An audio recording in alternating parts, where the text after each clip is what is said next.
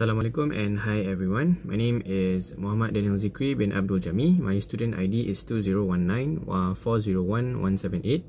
So for today, I would like to talk about an experiment which is titled The Effects of Heat Treatment on the Microstructure of Steel. So we go on to the objective. For the first objective, it is to um, study on preparing metal metallographic samples uh, for microstructures observation. Uh, the second objective it is to study the effects of heat treatment on the microstructure of steel.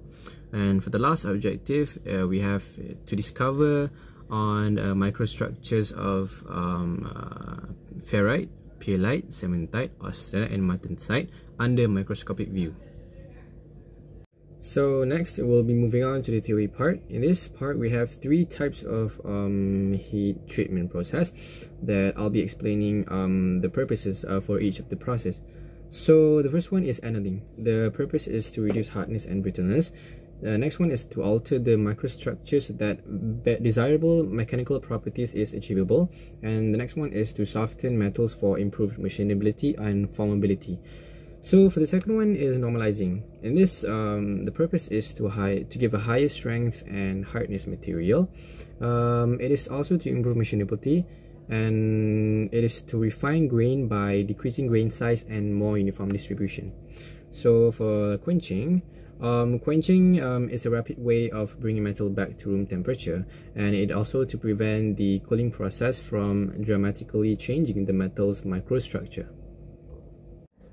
So next, we'll be moving on to the demonstration part. Before um, we start, um, I would like to remind you guys about the safety procedures by wearing safety goggles and also um, a pair of gloves. This is to ensure that we are being well protected while carrying out this experiment. So um, the purpose, uh, uh, so basically after this tool has gone through um, cutting and molding process, it will be going through uh, an important process which is called grinding.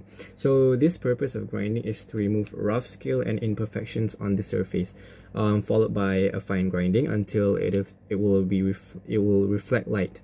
So the first step, turn on the water valve and um, turn on the water valve and let it flow um, onto the sandpaper equally.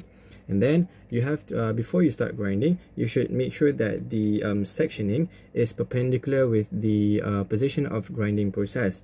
And the third step um, grind your sample one direction in a time um, while flowing the water continuously.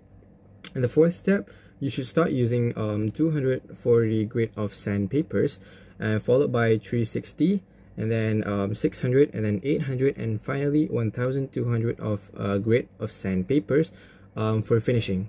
And then you have to make sure that your grinding is um, is smooth um, without and without having any scratches on it.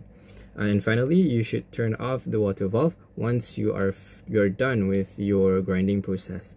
That's all. And finally we'll be moving on to uh, results and discussion so for the first question is what is the purpose of etching process in the preparation of metallographic sample and how it is done? So the purpose is to reveal microstructural details that would otherwise um, not be evident as um, on the S polished sample. So uh, the process includes uh, the first one, sample will be cleaned with alcohol and dried. Then it will be um, immersed in the etchant for a few seconds and then it will be placed under a steam of water to remove all traces of acid. And the next one, it will be washed again with alcohol to prevent watermarks. And lastly, it will be ready to be viewed under microscope.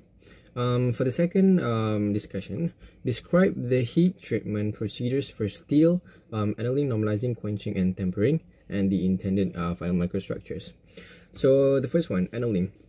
Uh, heat treatment in which the martensite is held at an elevated temperature for a period of time and then cooled slowly um, so the cost pearlite is the microstructural produced. Um, next one, normalizing. Um, by heating at about 55 degrees to 88 degrees uh, above the upper critical temperature and accompanied by air cooling, an annealing that an annealing heat treatment process is performed and the fine pearlite is the microstructural produced. Next one, quenching. The sample heating phase um, to the austenite range is then cooled is then quickly cooled. Um, during the process, various quenching media, which are water, oil, air, and brine, can be used. um, each providing different outcomes on the structure and, and mechanical properties. So the microstructure produced is martensite, of course. And the last and lastly, tempering.